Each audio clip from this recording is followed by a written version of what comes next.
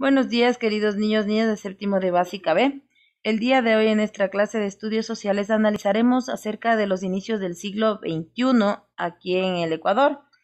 Los gobiernos que nosotros hemos ido analizando conforme las exposiciones y aportes de cada uno de ustedes, ¿sí? Forman parte de la identidad de nuestro país. Ahora quisiera conocer de ustedes, levante la manita por favor, de todos los presidentes que hasta hoy se han eh, conocido y usted en sus años de vida también ha escuchado algo, ¿no es cierto? ¿Cuál es el presidente que le ha parecido eh, con un mejor desempeño en el gobierno? ¿Y cuál es el peor presidente que usted considera que no ha desempeñado un buen rol de presidente? Levante la manita. A ver, Mateo, coméntame, por favor. Alce la voz, mi vida, para poder escuchar. A ver. Abdalá Bucaram por Pero Maite, alce la manito Maite, prenda cámara, no le veo. Maite, parece que se le está yendo el internet. por su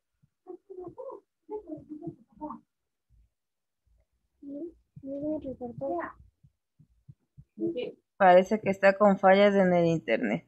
A ver, Mateo, coméntame, por favor. Mateo Vela.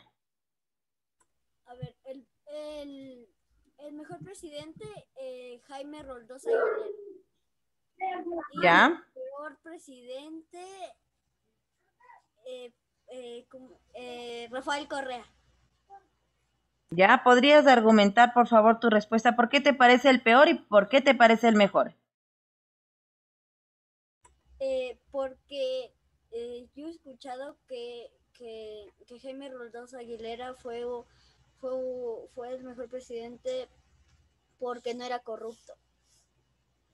Y, el Rafael Correa, él, se robó mucha plata de nuestro país.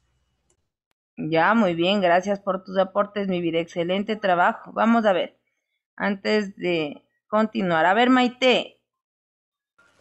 Ojalá buscarán por su gobierno de corrupción. A ver, mi vida, ¿es el mejor o el peor?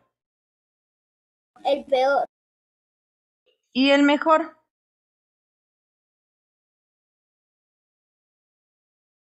Correa por las obras que hizo. Ya, a ver chicos, yo les voy a pedir un favor. Ya usted ya está en séptimo de básica, así que la mamá y el papá le quiere dar la respuesta, usted limítele y dígale no, porque usted ya tiene criterio. Vamos a ver, gracias, vamos, ayúdeme Mateo. Eh, para mí el mejor es Rafael Correa por sus obras y porque los hospitales que él creó nos sirven hoy para eh, estar a salvo del COVID. Y el peor me parece Abdalá Bucaram por, por ser un corrupto y asaltar, y asaltar el, el país. Ya, muy bien, gracias por sus aportes. A ver, chicos, el día de hoy vamos a realizar una actividad grupal. Pero en esta actividad grupal le voy a pedir que todos colaboren y todos trabajen con el micrófono y la cámara prendida. ¿Listo? ¿Qué es lo que va a desarrollar en la siguiente actividad? En su cuaderno usted va a poner de título. Investiga acerca de los tres peores presidentes que ha tenido el Ecuador y los tres mejores presidentes que ha tenido el Ecuador. Usted va a a investigar, va a aportar con ideas, de pronto va a, organizar de pronto un pequeño debate dentro del grupo, ¿no? No, a mí me parece el mejor porque realizó esta actividad, no, a mí me parece el peor porque eh, según este estudio dice que ha sido corrupto. Entonces usted va a investigar. ¿Qué es investigar? No es preguntarle a la mamá, al papá lo que piensa, sino que usted va a investigar, va a buscar información adicional a la del libro pero en el libro usted tiene la información suficiente para realizar esta actividad. En este momento le organizo los grupos y usted va a ir aportando.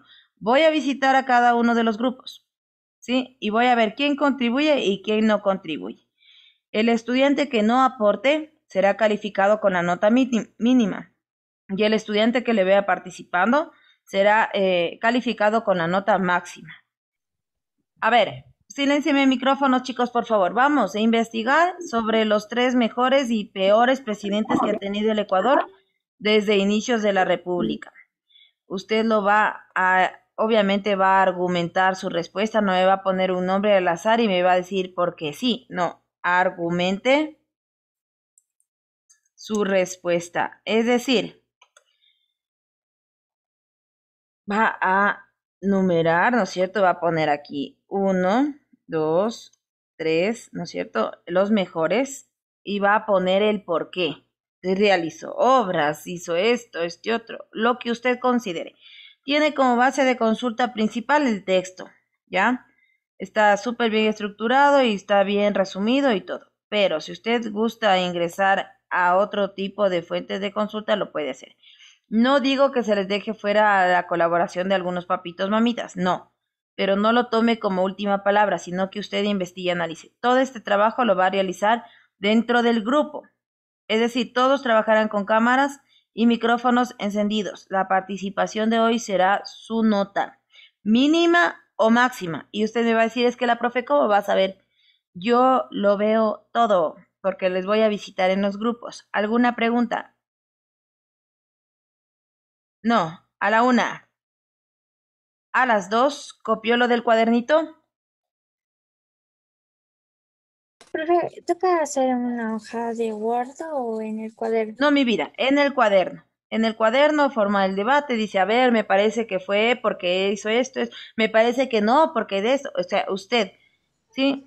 No le digo piense igualito en grupo, no, sino que enriquezcase de esos aportes y llegue a una conclusión, diga, no, es que hizo estas obras, estas obras, mejoró esto, cambió esto, creó esto, y si no, lo contrario, ¿no es cierto? Dígame, Mateo. Profe, ¿el grupo tiene que tener la misma respuesta? No, no, no, no, no, pero sí le va a compartir a su compañero el su pensar. ¿Por qué? Pero argumentando. Yo considero que fue ¿por qué?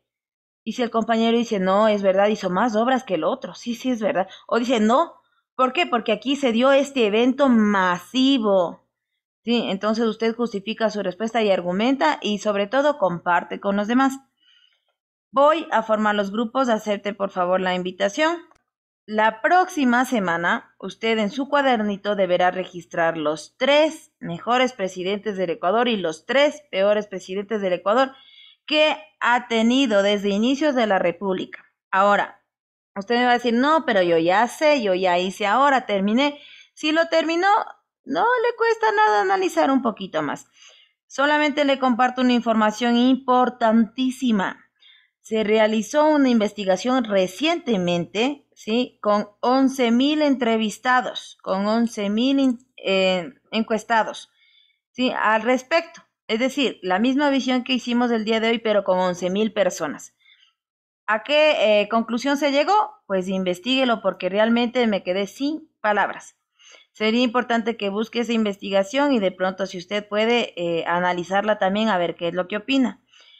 Y la va a compartir, escuchará. Primero que esta actividad la va a subir a Educay, ¿ya? Eh, si no la terminó y la subimos la semana próxima sin problema. Mientras tanto, le voy a dar tiempito para que lo investigue. Sin embargo, sí me gustaría que usted realice su propia encuesta, su propia entrevista a todos los familiares que le sea posible, vía online, vía llamada telefónica, videollamada, algún contacto que no sea cercano, porque usted sabe que debemos cuidarnos. Matías, ¿tienes alguna pregunta? Ya, entonces, dígame. Dígame, Mateo. lo que hicimos en grupo ya, lo que hicieron en grupo, espere, lo va a subir la próxima semana cuando complementemos. Si usted puede llamar tíos, abuelitos, primos, sobrinos, nietos, hágalo, solamente para sondear un poquito el pensar de cada uno. Hágalo. ¿Sí? Y pregunte siempre, ¿por qué? ¿Por qué considera eso? ¿Sí? Entonces, ¿cuál es el, no el deber, pero sí el trabajo que usted va a hacer? Investigar, ¿no es cierto? Y voy a ver ¿A qué conclusión llegamos la próxima clase, chicos? Espero que tenga un bendecido fin de semana, un bendecido feriado. Solamente le ruego, le suplico que se cuide, que evite salir, que a su familia le diga que por favor nos cuidemos y Dios quiera nos podamos volver a ver el siguiente año lectivo, ¿ya?